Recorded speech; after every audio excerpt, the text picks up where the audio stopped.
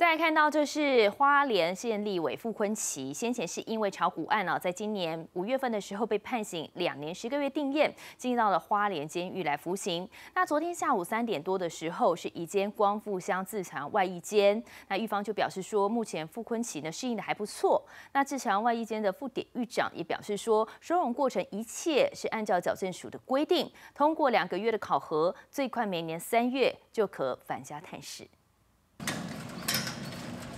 人推着餐车，准备将餐食送往食堂。花莲立委傅昆奇二十一号下午三点多，从花莲监狱移到光复乡的自强外役监狱，呃，做新收的一个考核。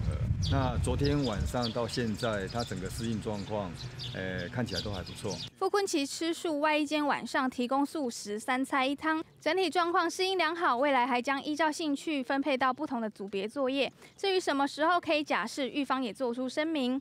这个部分都牵涉到说，因为他里面他们进来的话，都会签署一个他们资基本资料要不要提供外界查询。那这部分傅先生他是不同意的。特别签署个人资料不外泄，外界最关注的假释申请暂时无法得知。至于返家探视的可能性，入监后需要满两个月，最快得等到明年三月才能考核。